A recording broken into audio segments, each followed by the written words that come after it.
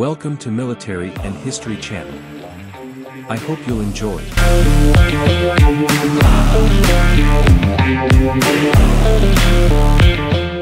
He shed so much blood that Muslims and Christians believed he was the Antichrist.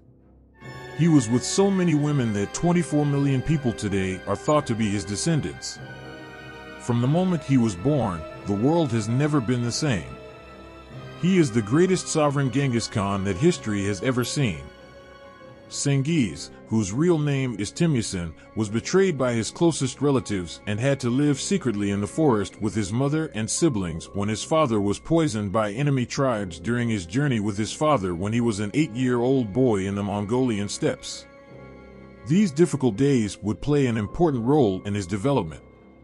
Because according to his own words, when his whole family was about to die of hunger, his brother did not share the fish he caught with them.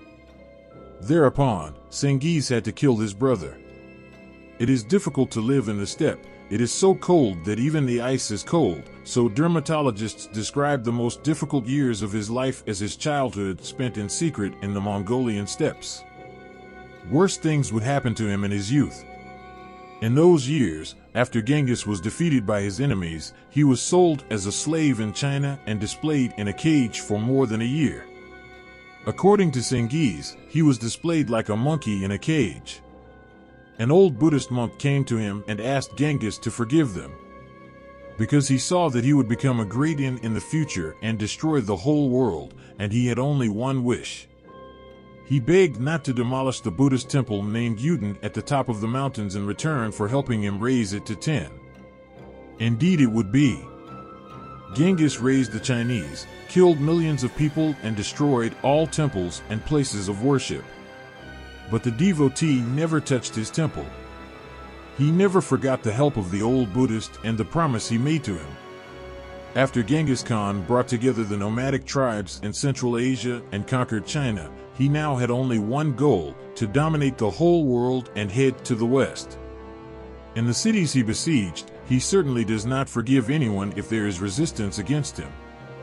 The army had sworn to show no pity, woman, man, or child. For this reason, the greatest massacres took place in the resisting Turkish lands.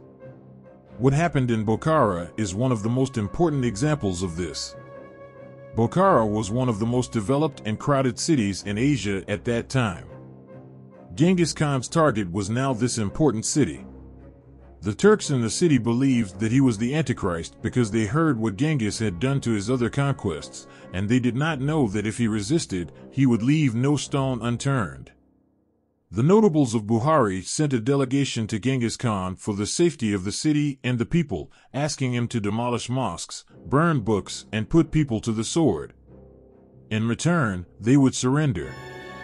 Sengiz agreed, and the twelve gates of the city were opened to the Mongol army, and after entering, Sengiz said his word that will be written in bloody letters in that history.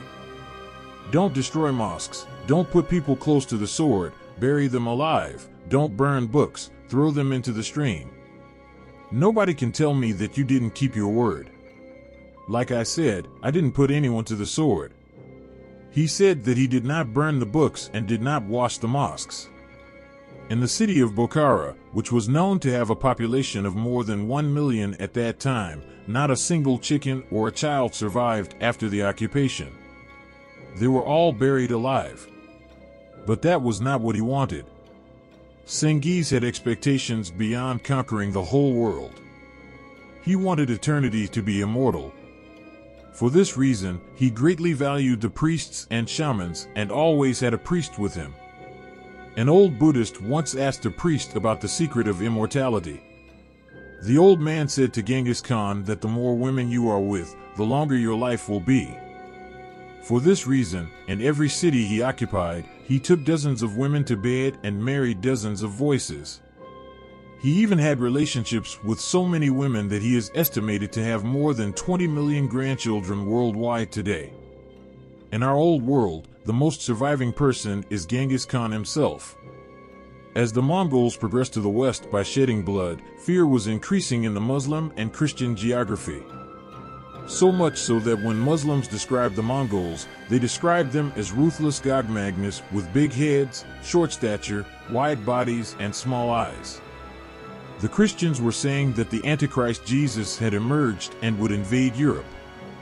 Maybe they were right because Genghis Khan killed 10% of the world's population at that time, i.e., 40 million people, and conquered half of the world.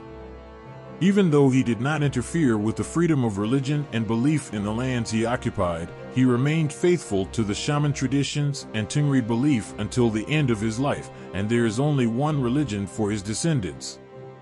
He also testified that he is a Tengri religion. The ambassadors who invited him to Islam or Christianity in times of war. He punished this by accepting it as an insult to himself and reminding him of the boiler. This mighty, sovereign ruler. He had an army and could not defeat it in his lifetime. Dogs would look for a place to run whenever they saw a dog. This has always been the subject of jokes among his friends and family. So, how did a steppe man, whose childhood and youth passed in trouble, manage to become the cruelest and greatest ruler in history? Han summed it up in these words. I thought, I thought a lot. I've thought a lot more than any human has ever thought.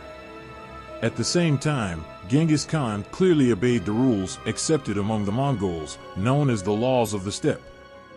However, he also made important additions to them, some of the rules that Genghis Khan added are as follows. Whoever makes a mistake on the battlefield will be punished by the commander there. Losers have no right to impose conditions. The penalty for resistance is death. Families of defeated enemies are divided equally among the soldiers. A soldier can take as many concubines as he wants. Children from concubines are considered natural children and receive an equal share of the inheritance. The penalty for helping one of them by getting between two people who are fighting is death. He who buys goods from others three times and goes bankrupt three times is punished with the death penalty after his third bankruptcy. The penalty for lying is death. The penalty for a Mongolian conversion is death. The meat of any animal is edible. The penalty for banning one of these is death. However, who wanted to slaughter the animal, we tied his feet and cut his stomach. Is it then to kill him by squeezing his heart with his hand? Only the meat of the animal killed in this manner is edible, and the preliminary penalty for not providing food and accommodation for travelers is death.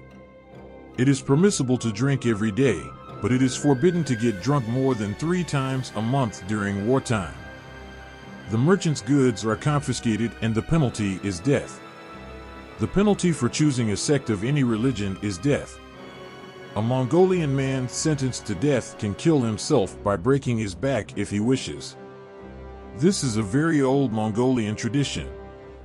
If nobles were to be executed among the Mongols, it was done in what was considered a noble death. In other words, they would break their backs and leave them in the steppe. These are just a part of Genghis Khan's laws. He was one of the toughest leaders the steppe had ever seen. He ruled half the world. He killed as many as 40 million people in these wars. Maybe he didn't find immortality. But his name has been engraved in the memories as immortal and will continue to be considered by the whole world as the greatest ruler in history forever. When he died, everyone involved in the sighting was killed so that his burial would not be located, according to ancient Central Asian tradition. It is thought that a riverbed was diverted and buried under the river, possibly in Mongolia. After his death, his children and grandchildren further expanded the borders of the empire.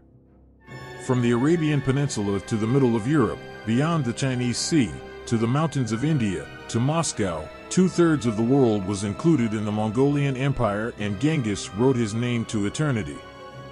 All Mongols were afraid of thunder, only Genghis Khan could overcome this fear? To those who ask how he did it, I have nowhere to hide anymore. I forgot fear.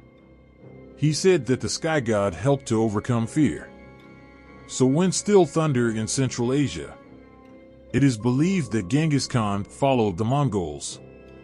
You can subscribe to my channel to get more content.